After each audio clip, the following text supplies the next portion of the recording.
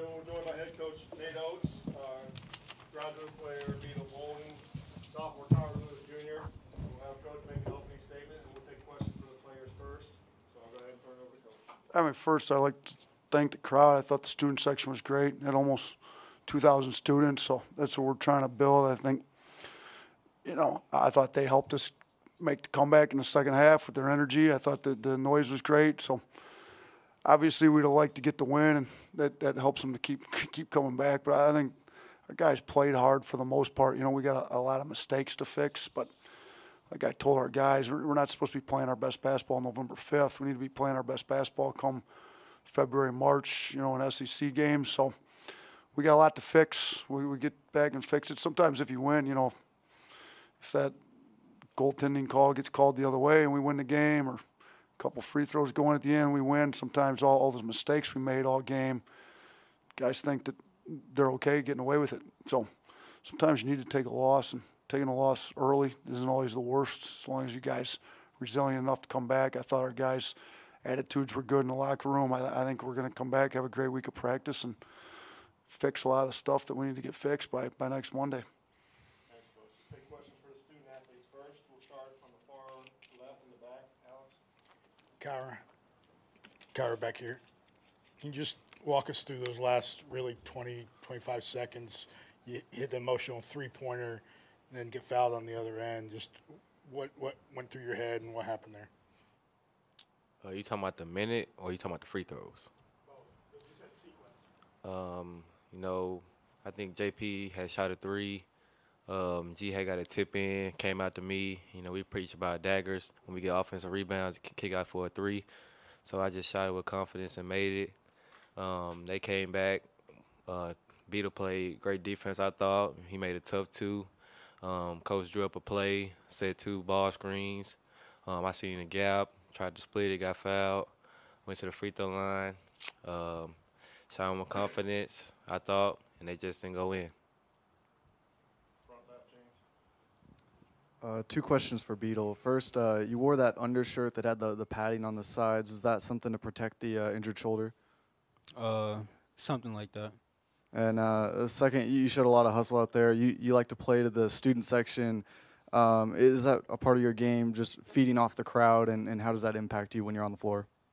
Um, yeah, I, f- I feed off the crowd a lot. They bring a lot of energy. Uh, the the fans did a great job tonight. We fed off of them at the end. I think um, when they got loud for us, uh, it it made us feel like we had a lot of energy out there on the court, even though might a few dudes might have been tired at the time. But we dug down uh, and fought fought our way back. And I think me and my, my guys showed some resiliency. This is for both guys. Uh, it, it was a struggle. It seemed like most of the game offensively. You guys still get in the 80s, but what did they do to kind of affect you guys offensively on the defensive end? Um, I think mm, uh, it was it was on our part. They didn't do nothing crazy to to pressure us or or make us lose the ball. We just made some mental errors where we would drive into gaps and lose the ball sometimes, and we just throw it away sometimes. Uh, and that's just mentally, and that's just part of the game. Uh, like Bill said, you know, I didn't think they did nothing too crazy. Um, turnovers at the beginning of the game. Um, I had like four in the first half. Um, I had to say, you know, some open shots just didn't drop. You know that we probably we gonna make at the later in the season. So I just think we can go back and make fix those mistakes later on in the season. Two more questions for the student athletes. We'll start all the way in the back. Hunter.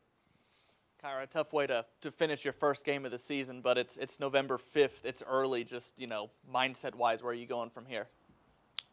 Um, you know, it's tough to lose like that, but you just got to keep moving forward. Uh, after after this, um, I'm gonna have to go shoot some free throws because I just can't live with not making free throws at the end of the game. Um, I feel like this will be a good learning lesson for us, and later on the season, you'll see a team that's been experienced in this situation. So it's really a lot of basketball to go. Any other questions for either student athlete? Okay, you guys are good. Appreciate it. Any questions for uh, Coach Oats? Start with, uh, Kelsey on the right.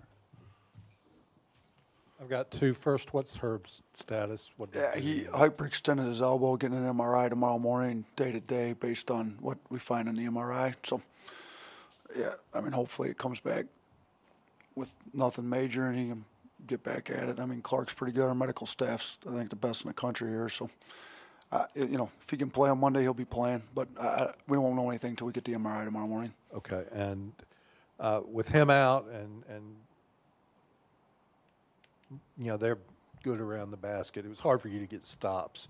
And when you don't get stops, how did that affect you offensively? Yeah, you seem to be running a lot of half court. No, it really affects us because you know, like we're we're so much better in transition, and when you're pulling the ball out of the net, it's a lot harder to get out in transition. So, I, just you know we kept telling again. We you know if you look, we're playing Forbes 18 minutes. He's a freshman, and Shaq played 30 minutes. That's 48 minutes split among two uh, freshmen. That's it's a lot of minutes for freshmen their first game. I, you know, that there's some defensive, and it's not all them. We had defensive breakdowns from everybody, but our defense. And the other thing is, this team's a veteran team that's played together a lot. It's the first game. We don't have any film on them. They, they, you know, this is just hard with the scouting report and everything. And our guys, we didn't make good enough adjustments as a coaching staff. I didn't think. You know, they got us on a couple layups where they're curling the high post. Uh, you know, we needed to adjust sooner on that. And some of this is on us. Some of it, we just we just got to get better. I mean, we, we we've way too many defensive breakdowns, like you said, and then we couldn't get out in transition on offense like we like to do. Spoke in the preseason about consistency from outside. Obviously, you know, you talked about some of the freshmen. It seemed like, uh, you know, even Jaden uh, had some inconsistent, you know, streaks there. Just what do you see from the outside perimeter shooting, and where can you improve? Yeah, you know, I think when we shoot 20 and 29 percent from three this game? It's not ideal. It's not the worst, but you know, if we shot 17 to 37, you know, we got 38 of them up. If we go 17 to 38, we win the game by large margin. So I told them we can't. You know, we had plenty of mistakes against Georgia Tech. We had 17 turnovers. We missed a bunch at the rim. We can't rely on going 17 to 37 every game from three and- and blowing people out like that. And guess what? Tonight we got 38 up and we only made 11. So I didn't think I didn't think too many of them were bad shots. To be honest with you, I just thought we missed some.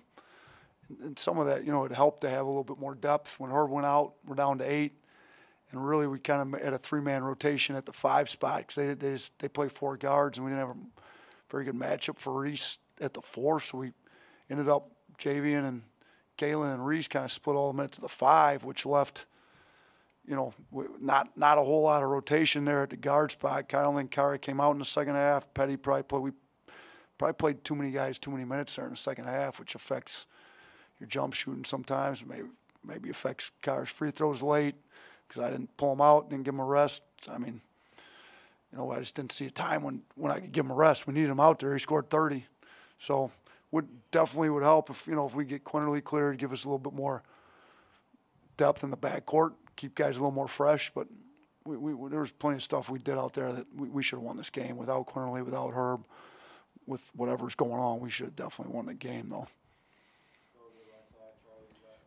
Kira was noticeably upset after the game. What did you say to him after those missed free throws to kind of keep his spirits Yeah, up? he was. Uh, I mean, he's blaming himself. He's, you know, as an 18 year old kid, I mean, people forget he's supposed to be a freshman this year. He's supposed to be a senior in high school last year.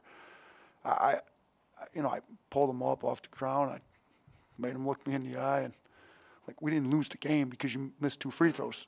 Like, we lost the game because there's a million other things we didn't do well, and we put you in a bad spot. And I also told him part of it's my fault. I played him 20 straight minutes. I didn't take him out. I, I should have found a way to get him a 30 second rest at the end before media, 30 second after media. I, I kind of screwed some of that up. I should have gave him a little more rest. Maybe if I get him a minute break, two minute break in the second half, he's got enough legs under him to hit the free throws. So I took my part of it with him, and you know he just said he's got to make them, which that's good. He, he took ownership of it. I, I guarantee you, he's gonna be in the gym shooting a few hundred free throws every night. That's the other thing I told him. Sometimes we need some adversity in, in life.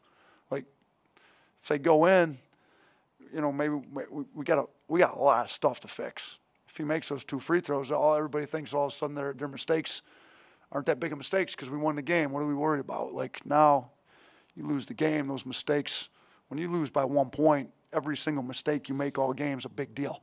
So now, when we come in and watch the video and a guy doesn't sprint back on D and we give up a layup, that, that's the game, not the two free throws. Obviously, if he hits two free throws, we win, but you know that along with a million other things. So when you point out every single possession that we didn't do what we're supposed to do, every one of those wins the game. So I should I had a similar situation. I only played Division three basketball, but I I missed two free throws at the end of a game my junior year. We were up.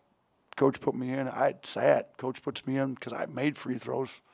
I go 0 for 2, and we, we they come down, score, and win the game, and we lose the game. Like, I, I didn't have this many people in the stands at a Division three game. More like a thousand, maybe less than that. But I mean, he did it in front of all these people. Like, it's a terrible feeling. You feel like you let your whole team down. But our guys were really good. Petty was in there saying all the right stuff. Like that, that's where you find out who your leaders are, how they come together. I don't think anybody's going to walk out of that locker room and blame Kira for the loss, like after the way he played the rest of the game. Coach, uh, could you update us on the status of the uh, proposed conference call, uh, the overall appeals process, and where things stand tonight with Javon? Yeah, I, we've got a um, conference call scheduled before the next game. I think you're supposed to get a uh, answer fairly quickly after the conference call. Other than that, so I, my guess is we'll know. I think we'll know by Monday late afternoon, basically just in time for the game, whether he's cleared to play or not. If he plays, it's great. We could certainly use him out there. He's really good. If they don't give it to us, I'll be really disappointed. But you know, control. We tell our guys like control what you can control. Like we we can't control what the appeals committee decides. Like we can't control what the referees do tonight. We can't like let's control what we can control. I thought maybe myself, the players, all of us got a little bit, you know, worked out about some stuff maybe we couldn't control tonight, and we were going to do the same thing with with with Quinerly. Hopefully, we're going to do our, our legal team and compliance office. I think's the best in the country after dealing with them on, you know, issues that we've had. We've got all the resources in the world, and we've put all the resources we can into getting him eligible, and we're going to do everything we can to get him eligible, and hopefully they give us a favorable ruling. It is scheduled already. It's, uh, believe it's uh, next Monday, I believe. I, I got to double check on that, but they, they let me know today that we do have it scheduled, and we will we should have an answer by by game time next Monday.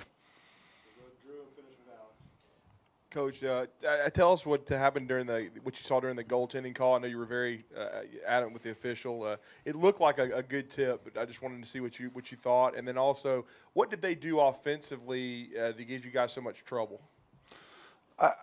so offensively, they Brodeur is really good for one. We couldn't get him off the floor. I mean, if you look, he played 36 minutes. At our bigs, know, if you look, Galin had four fouls, Javian had three fouls. They played 27 minutes between them. Reese had two fouls, so we got nine fouls, and about the same time that he played, had four fouls. Like they, they kept him on the floor which is a good thing. And then he, just, I mean, they played through him a lot. And then the, the, the other thing that hurt us a little bit was they they got all the actions going around. They just we call a sneak drive. Like they just blew by us while they had actions. I mean, we got multiple blowbys in the second half. Guys just got to guard their matchup, and we couldn't find a matchup for some of our guards out there. To be honest with you, I mean, which is which is an issue. I mean, we if you can't stay in front of your guy because they got shooters. What they, put Brodeur out there and then they spaced the floor with four shooters. So if you want to help on every time you get beat on a blow by, you're going to give up three. You know, and if you come off Brodeur too much, they get back to him and he makes all the right reads. I mean, they're a veteran group that knows how to play, and Coach Donahue does a really good job, and they're a well coached team. So offensive, you know, and, and I think we're we're a heavy scout team. Not having film on their current team to play, like just hurts you with the scout. We we had a lot of it down, but there were some different wrinkles they ran this year that we didn't. The, the curl off the high post when Brodeur had the ball, we probably should have gone under that a lot sooner than we did. We kept chasing over the top to try to chase them off the three point line because they three point shooter. I mean, you know, if they look, I mean, we shot a lot of threes. They shot 26. They shot a lot in the first half. We got them off the line a little bit in the second half, but the part of that is we gave up too many blowbys. So, then with the goaltending call, I mean, you guys, I, I don't know how many different angles they showed you out there. We looked back in the back, three different angles.